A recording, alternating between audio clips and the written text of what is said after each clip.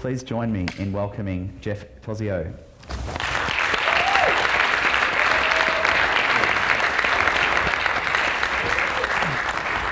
Thank you, Taya and Joe. That was, uh, that was really beautiful.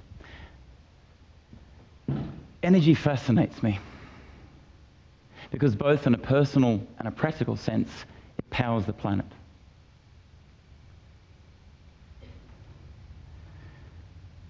Electricity, in particular, spurred the growth of the modern era. It literally lights up our world.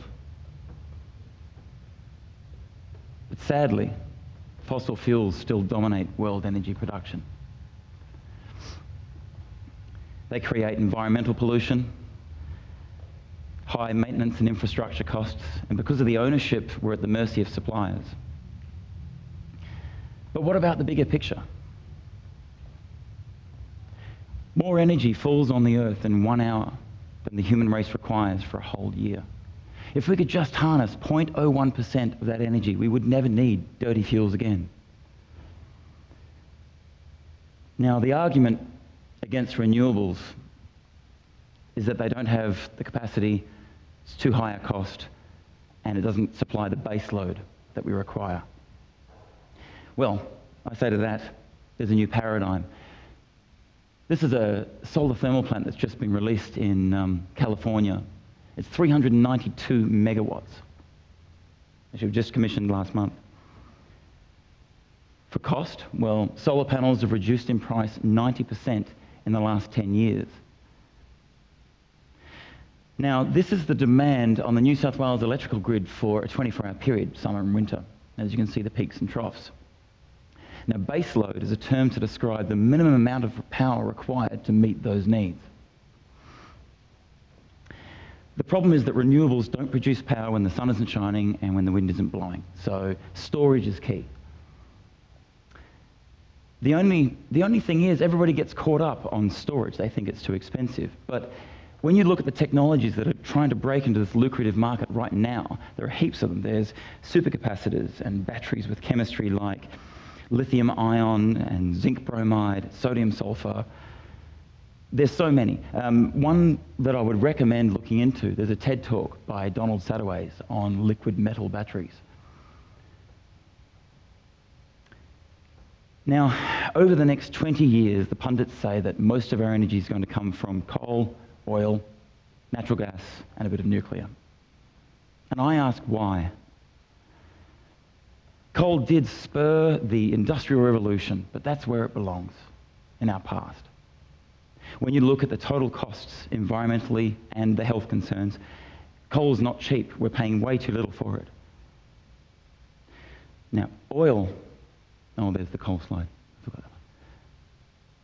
Now, oil is like a drug for our society. This is the oil slick from space and the, uh, the BP oil spill three years ago.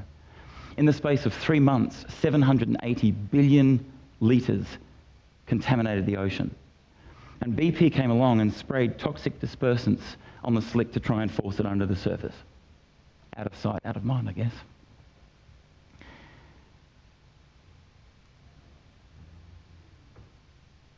It's like a bad Hollywood film, isn't it? But this is environmental damage on a huge scale.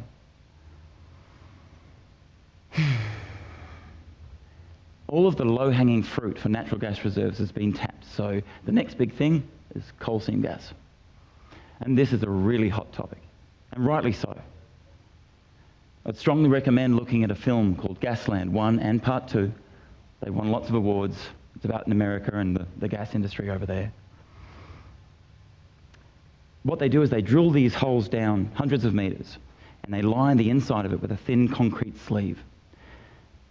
This this is quite fragile, and 5% of those actually fail immediately. So the gas can migrate up to different rock strata. Statistically, after 30 years, 50% of those wells will have failed. So contamination on a broad scale of our water table is certain. The nuclear disaster at Fukushima was our second lesson about the horrible legacy and dangers of this technology. The waste itself takes hundreds of thousands of years to break down, and we can't even calculate the cost of that long term. Now, there was a professor called Mark Jacobson who um, produced a study from uh, Stanford University, and he said, based on our research, there is no technological or economic barrier to converting the entire world to clean, renewable energy sources. So, why aren't renewables making an impact on the world stage? Well, I believe it's because the world's, energy suppliers have a monopoly of ownership, production, and supply for nuclear and fossil fuels. And they'll continue converting those assets into revenue while we let them. In other words, while we keep buying their product. So, we turn to politics to save us. And the debate does seem genuine, you know, emotive arguments about the jobs and the economy. But where, to, where do federal and state politicians receive the majority of their contributions from?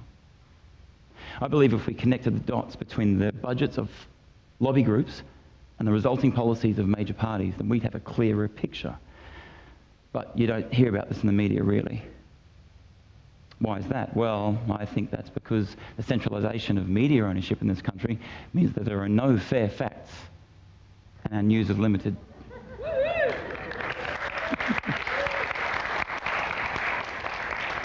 Did you know that the mining industry receives $500 million in direct subsidies every year and $2 billion in tax concessions every year as well? In return for this, they're one of the top political donors. Now, when our Prime Minister boldly stated in his acceptance speech that Australia was once again open for business, I think we all cringed a little. The new federal government is looking to dismantle the Clean Energy Finance Corporation. That's supposedly rock solid legislation for $10 billion worth of renewable investment. There's a plan to dredge 3 million cubic metres of the Great Barrier Reef to allow for more efficient transport of coal to what would be the biggest coal mine in Australia. Uh, UNESCO is even thinking of putting the Barrier Reef on its endangered list. It's crazy. So let's get real. If we're going to wait for the media and the political and the economic systems to change, then we'll be waiting a long time. Let's just take back our power, both personally and practically. Now, this all started for me when I built a camper trailer five years ago with a small standalone power system.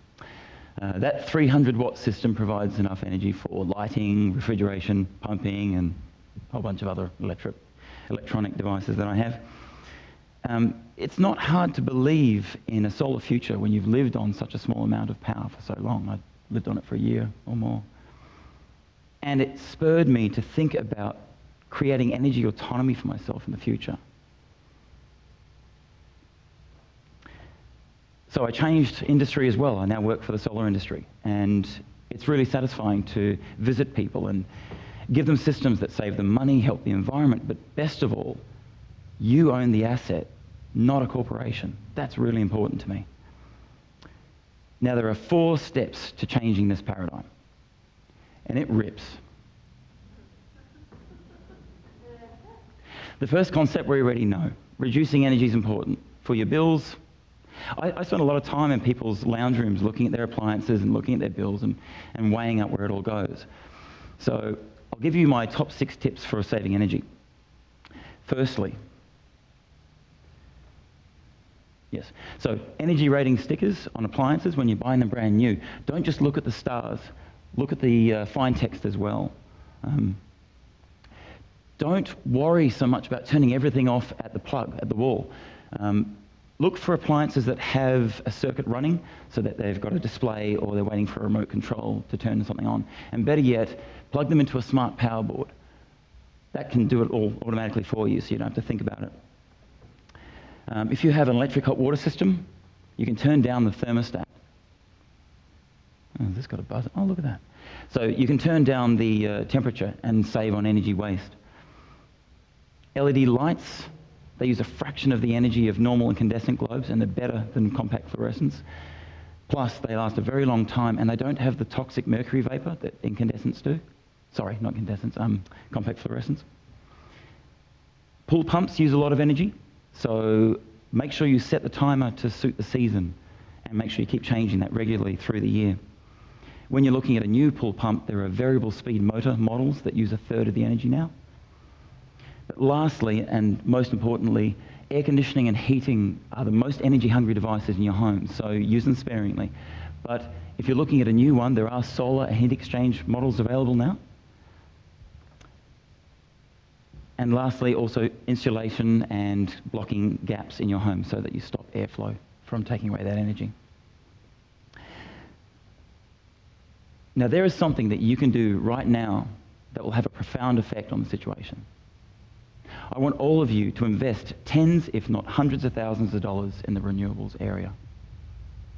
I can hear you all thinking, don't have that money, Geoff. Well, you do. Australians have over $3 trillion invested in superannuation.